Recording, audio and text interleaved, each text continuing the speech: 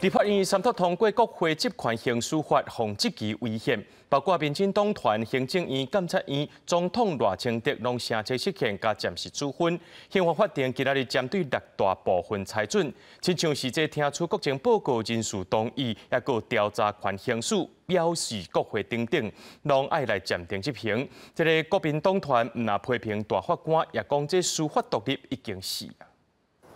立法院国民党团、民众党团联手通过国会职权刑事法，刑法表示国会罪引起争议，包含民进党团行政院、监察院总统来清点行会有违宪问题，申请设限价暂时处分，宪法法庭十九再准暂时处分。总统国情报告，呃，立法委员的咨询权，呃，同意权的行使，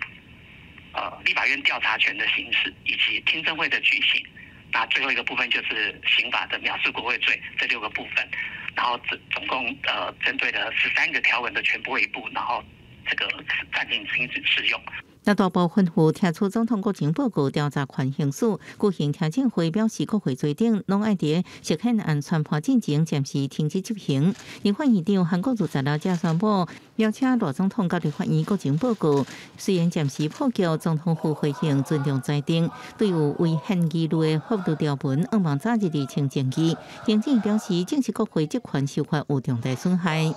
看到现在大法官全部演都不演了，来因。附和执政党来做相关的一个配合说明，我们真的非常的痛心。国民党团会持续努力做事先的相关准备，就是希望留住最后一道防线。那被反对国民党团批评大法官正做反移动打手，是宪法法庭上可比的一刻。民进党团总调吴国昌并且发文表达遗憾，指出宪法法庭文嘅受理申请竟然受理不符合要件，暂时处分也准，可能无法度理解。民进党团尊重宪法法庭暂时处分的裁定，这些争议的条文确实都涉及了有违宪的疑虑。但现阶段，民进党团最重要的工作还是全力准备八月六号宪法法庭言辞辩论的筹备。民进党团会有在野党停止对大法官的诋毁，现阶段是全力准备八月七日言辞辩论，条件一定会辜负具体的言辞对象。记者综合报道。